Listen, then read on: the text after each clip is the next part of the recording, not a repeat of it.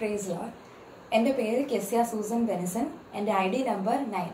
അല്പസമയത്തെ ചിന്തയ്ക്ക് എനിക്ക് ലഭിച്ചിരിക്കുന്ന വിഷയം കളങ്കം പറ്റാതെ കാക്കുവേ അതിനാധാരമായി യാക്കോബ് എഴുതിയ ലേഖനം ഒന്നാം അധ്യായം അതിന്റെ ഇരുപത്തിയേഴാമത്തെ വാക്യം. പിതാവായ ദൈവത്തിന്റെ മുൻപാകെ ശുദ്ധവും നിർമ്മലവുമായുള്ള ഭക്തിയോ അനാഥരെയും വിധവമാരെയും അവരുടെ സങ്കടത്തിൽ ചെന്ന് കാണുന്നതും ലോകത്താലുള്ള കളങ്കം പറ്റാതെ വണ്ണം തന്നെ താൻ കാത്തുകൊള്ളുന്നതും ആകുന്നു. എ ഡി നാൽപ്പതാം നൂറ്റാണ്ടിൽ കർത്താവായ യേശുക്രിസ്തുവിന്റെ അർത്ഥ സഹോദരനും എരിശിലേം സഭയുടെ അധ്യക്ഷനുമായ യാക്കോബാണ് ഈ ലേഖനം എഴുതുന്നത്.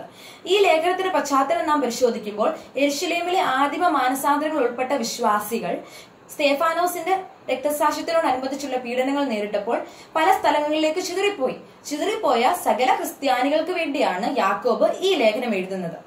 ഈ ലേഖകന്റെ സവിശേഷതകളെ കുറിച്ച് നമ്മൾ ചിന്തിക്കുമ്പോൾ ഈ ലേഖകൻ ഒരു പ്രകൃതി നിരീക്ഷകനാണ്. മാത്രമല്ല ഇന്നത്തെ സമൂഹത്തിൽ നമ്മൾ നേരിട്ടുകൊണ്ടിരിക്കുന്ന സകല അനീതികളെയും അധർമ്മങ്ങളെയും കുറിച്ച് കർശനമായി പറയുന്നതിനാൽ യാക്കോബിനെ പുതിയ നിയമത്തിലെ ആമോസ് എന്ന് വിളിക്കാറുണ്ട്. യാക്കോബ് എഴുതിയ ലേഖനം ഒന്നാം അധ്യായം ഒന്ന് മുതൽ ഇരുപത്തിയേഴ് വരെയുള്ള വാക്യങ്ങൾ രണ്ട് തരം ഭക്തിയെ കുറിച്ച് നമുക്ക് കാണുവാൻ സാധിക്കും. ഒന്നാമത്തെ ഭക്തിയാണ് പ്രാവർത്തിക ഭക്തി അല്ലെങ്കിൽ പ്രാക്ടിക്കൽ റിലീജിയൻ എന്ന് പറയുന്നത്. ഒന്നാം അധ്യായം ഇരുപത്തിരണ്ടാമത്തെ വാക്യം ഇങ്ങനെ വായിക്കുന്നു. എങ്കിലും വചനം കേൾക്ക മാത്രം ചെയ്തുകൊണ്ട് തങ്ങളെ തന്നെ ചതിക്കാതെ അതിനെ ചെയ്യുന്നവരായും ഇരുപ്പിൻ. അപ്പോൾ നമ്മൾ പ്രവർത്തിക്കുന്നവരാകണം. രണ്ടാമത്തെ ഭക്തിയാണ് വ്യക്തിപരമായ ഭക്തി അല്ലെങ്കിൽ പേഴ്സണൽ റിലീജിയൻ എന്ന് പറയുന്നത്. ഒന്നാം അധ്യായം ഇരുപത്തിയേഴാം വാക്യം അതിന്റെ അവസാന ഭാഗം ഇങ്ങനെ വായിക്കുന്നു. ലോകത്താലുള്ള കളങ്കം പറ്റാതെ വണ്ണം തന്നെ താൻ കാത്തുകൊള്ളുന്നതും ആകുന്നു. അപ്പോൾ നമ്മൾ നമ്മളെ തന്നെ സൂക്ഷിക്കുന്നവരായിരിക്കണം. നമുക്കറിയാം ഈ ലോകം സ്വാഭാവിക കളങ്കം കൊണ്ട് നിറഞ്ഞിരിക്കുകയാണ്. ഈ ലോകത്തിൽ നമുക്ക് കളങ്കം പറ്റാതെ ജീവിക്കുവാൻ സാധിക്കുമോ? സാധിക്കും. ഒന്ന് യോഹന്നാന്റെ ലേഖനം അഞ്ചാം അധ്യായം പതിനാ പതിനെട്ടാം വാക്യത്തിൽ ഇങ്ങനെ വായിക്കുന്നു. ദൈവത്തിൽ നിന്ന് ജനിച്ചവൻ ആരും പാപം ചെയ്യുന്നില്ല. ദൈവത്തിൽ നിന്ന് ജനിച്ചവൻ തന്നെ താൻ സൂക്ഷിക്കുന്നു. ദുഷ്ടൻ അവനെ തൊടുന്നതുമില്ല. അപ്പോൾ നാം ഒരു ദൈവപൈതലാണെങ്കിൽ നാം നമ്മെ തന്നെ സൂക്ഷിക്കും. വിശുദ്ധ വേദ പുസ്തകത്തിൽ നിഷ്കളങ്കരായി നടന്ന അനേക ദൈവഭക്തന്മാരുണ്ട്. പഴയ നിയമം നാം പരിശോധിക്കുമ്പോൾ ഉൽപ്പത്തി പുസ്തകം ആറാം അധ്യായം ഒൻപതാം വാക്യത്തിൽ നോഹയെക്കുറിച്ച് ഇങ്ങനെയാണ് പറയുന്നത്. നോഹ നീതിമാനും തന്റെ തലമുറയിൽ നിഷ്കളങ്കനുമായിരുന്നു. നോഹ ദൈവത്തോട് കൂടെ നടന്നു. നമുക്കറിയാം നോഹ നിഷ്കളങ്കനായതുകൊണ്ടാണ് യഹോവയായ ദൈവം ഒരു വലിയ ദൗത്യം നോഹയെ ഏൽപ്പിച്ചത്. മുൻപോട്ട് നമ്മൾ കടന്നു വരുമ്പോൾ ഉൽപ്പത്തി പുസ്തകം പതിനേഴാം അധ്യായം ഒന്നാം വാക്യത്തിൽ യഹോവയായ ദൈവം അബ്രഹാമിനോട് പറയുകയാണ് ഞാൻ സർവശക്തിയുള്ള ദൈവമാകുന്നു. നീ എന്റെ മുൻപാകെ നടന്ന് നിഷ്കളങ്കനായിരിക്കാം. അബ്രഹാം നിഷ്കളങ്കനായിരുന്നു. അതുകൊണ്ടാണ് വിഗ്രഹങ്ങളെ ഉണ്ടാക്കി സേവിച്ചു കൊണ്ടിരുന്ന തലമു കുടുംബങ്ങളുടെ ഇടയിൽ നിന്ന് അബ്രഹാമിനെ ദൈവം വിളിച്ചിറക്കിയത്. മുൻപോട്ട് വരുമ്പോൾ യോബിന്റെ പുസ്തകം ഒന്നാം അധ്യായം ഒന്നാം വാക്യത്തിൽ യോബിനെ കുറിച്ച് ഇങ്ങനെയാണ് പറയുന്നത് അവൻ നിഷ്കളങ്കനും നേരുള്ളവനും ദൈവഭക്തനും ദോഷം വിട്ടകലുന്നവനുമായിരുന്നു. പുതിയ നിയമത്തിൽ നാം പരിശോധിക്കുമ്പോൾ സകലത്തിൽ നമുക്ക് മാതൃകയായ കർത്താവ യേശു ക്രിസ്തു പാവമൊഴികെ സകലത്തിനും മനുഷ്യന് തുല്യനായി യേശു ജീവിച്ചു. യേശു നിഷ്കളങ്കനായിരുന്നു.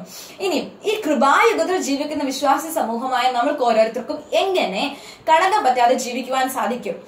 ഒന്നാമതായി ശുദ്ധീകരണത്തിലൂടെ നമുക്ക് കളങ്കം പറ്റാതെ ജീവിക്കുവാൻ സാധിക്കും. ഒന്ന് യോഹന്നാന്റെ ലേഖനം ഒന്നാം അധ്യായം അതിന്റെ ഏഴാം വാക്യത്തിന്റെ അവസാന ഭാഗം ഇങ്ങനെ വായിക്കുന്നു?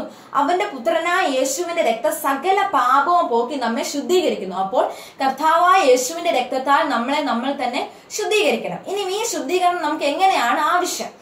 ഒന്നാം അധ്യായം ഒൻപതാം വാക്യത്തിൽ ഇങ്ങനെ വായിക്കുന്നു നമ്മുടെ പാപങ്ങളെ ഏറ്റു പറയുന്നുവെങ്കിൽ അവൻ നമ്മോട് പാപങ്ങളെ ക്ഷമിച്ച് സകല അനീതിയും പോക്കി നമ്മെ ശുദ്ധീകരിപ്പാൻ തക്കവണ്ണം വിശ്വസ്തനും നീതിമാനുമാകുന്നു.